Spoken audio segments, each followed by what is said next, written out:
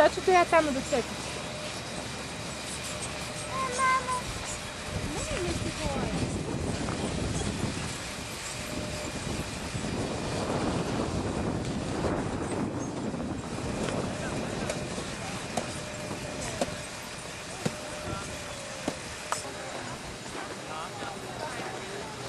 Bravo!